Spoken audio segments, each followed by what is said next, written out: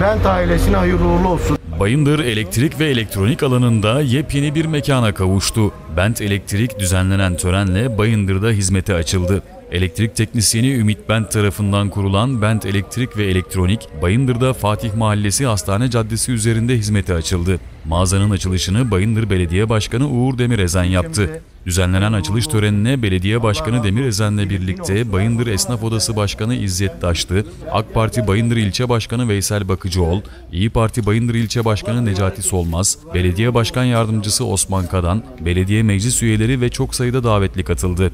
Açılış töreninde konuşan Belediye Başkanı Uğur Demirezen, işletmenin Bayındır'a hayırlı olmasını diledi. Bugün burada kardeşimin elektrik ve güneş enerji sistemleri üzerine bir dükkan açılışını gerçekleştiriyoruz. İlçemize hayırlı uğurlu olsun. Allah razı olsun. Biri bin olsun. Yeni iş yeri demek, ekonomiye katkı demek, KDV demek, istihdam demek.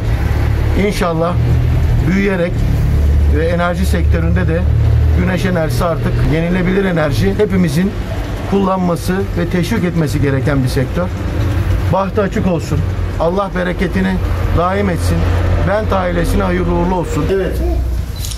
Allah mübarek etsin. Hayırlı uğurlu olsun inşallah. Bent Elektrik ve Elektronik, elektriği olmayan tarım bölgelerine elektrik ulaştıracak. Güneş panelli sulama sistemleri, dalgıç pompa, güvenlik kamerası, alarm sistemleri ve uydu merkezi sistemleri gibi sektörle ilgili tüm hizmetleri tek çatı altında müşterilerine sunacak.